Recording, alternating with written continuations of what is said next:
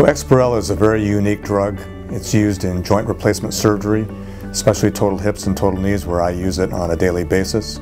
It's a medication you inject around the joint in specific areas. It helps to reduce pain after the surgery.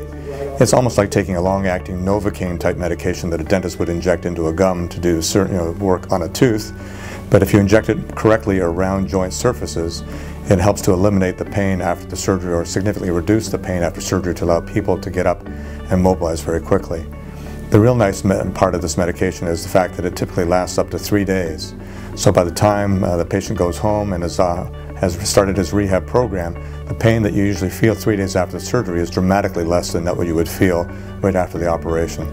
So it's been a major boon for joint replacement surgery, much more comfortable for patients to be able to mobilize quickly, much more comfortable for patients to go home sooner. Oftentimes our patients are going home within 24 to 36 hours of their operation.